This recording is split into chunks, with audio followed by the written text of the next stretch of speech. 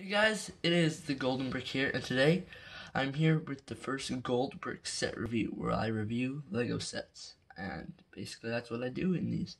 Now I'm here in the set review corner, where I will be reviewing sets, review, review, review, review, review.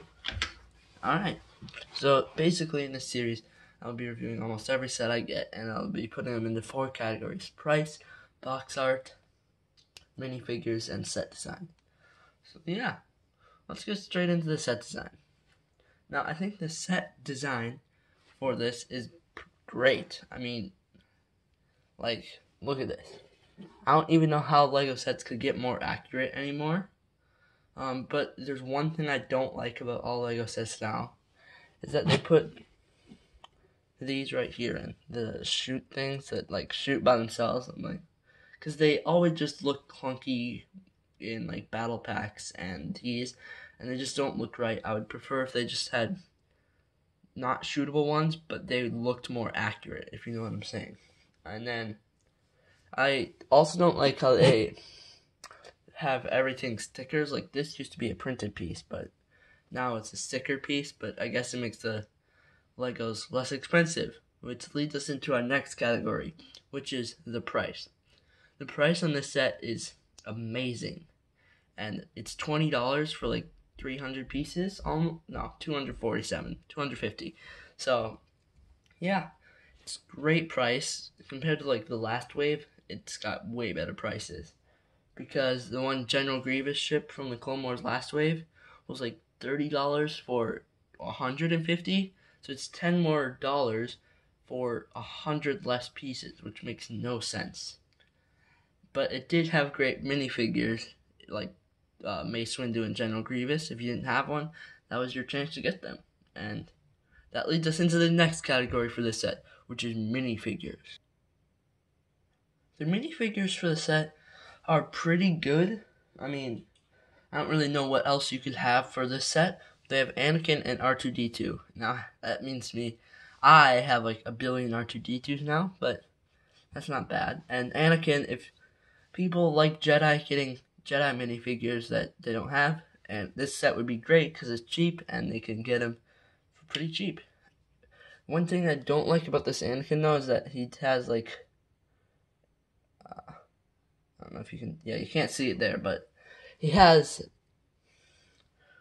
uh like a microphone. You can kind of see it right there, and that basically like if you want if that's your only Anakin, he's just gonna have the microphone, no doubt.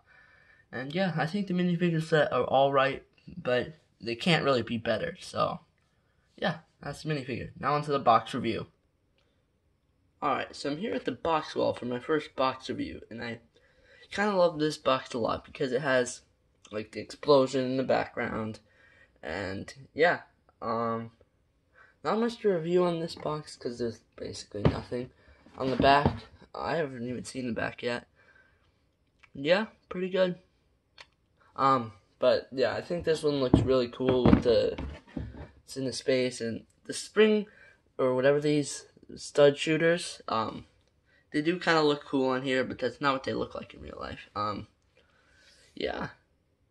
Um, it's a warning. It's a choking hazard, so careful of that. Um, 247 pieces, like I said earlier. Wow. We have the top Anakin and R2D2. Both actual size, actually. That's actually kind of nice. Because normally it's just like one minifigure's actual size. Side. Pretty much the front. And yeah. That's the box review. So now, I'll go back to the set review corner, and I'll give my final review. Alright, so for the final review of this set, I will give it 8 gold bricks out of 10 that's how this works. You, I give every set a rating of gold bricks. So I think it's eight gold bricks. It's pretty nice set for how cheap it is. The box is nice. I mean, the minifigures could be better, but that's something you can't really change with this set because there's only two. And how many else are you gonna add? Which is, yeah. So they could be better, but I don't think they couldn't be better, but they're not good, is what I'm saying. Then the set looks pretty nice. I just wish the stud shooters were gone and the stickers. Well, yeah.